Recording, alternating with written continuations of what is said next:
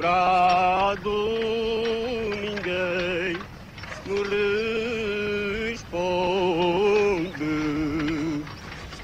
A herdade do Esporão, que mantém os seus limites geográficos inalterados há mais de 700 anos, situa-se em pleno coração do Alentejo, em Reguengos de Monsaraz.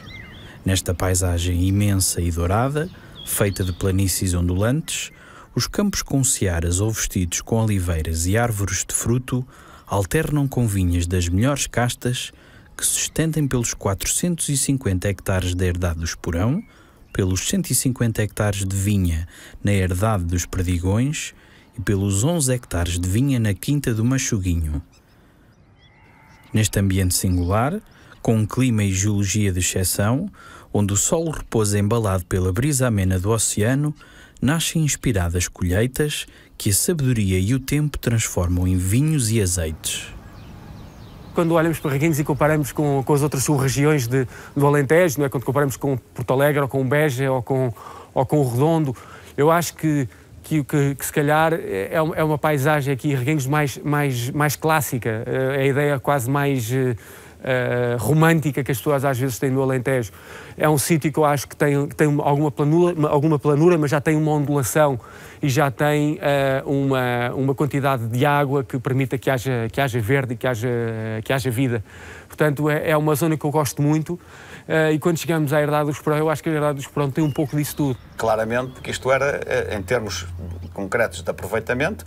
um daqueles muitos casos de, de ausência dos, dos proprietários de, e, do, e, da falta de interesse e de, e e projetos para, para, para esta zona do país.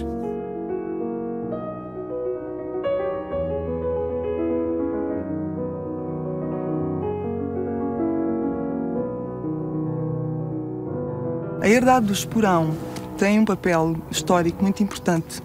para a região do Alentejo e para esta região de Reguengos de Monsaraz em particular,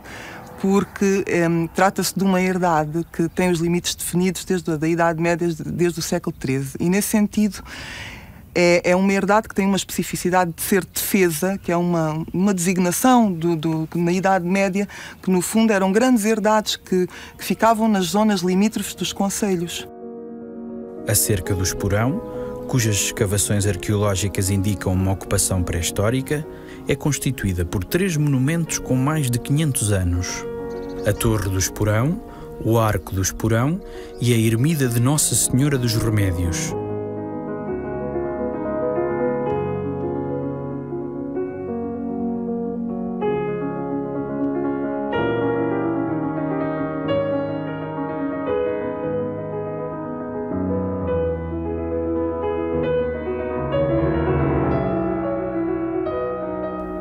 A Torre do Esporão, edificada entre 1457 e 1490, simboliza a defesa do património e é uma das torres mais importantes da passagem da Idade Média para a Idade Moderna em Portugal.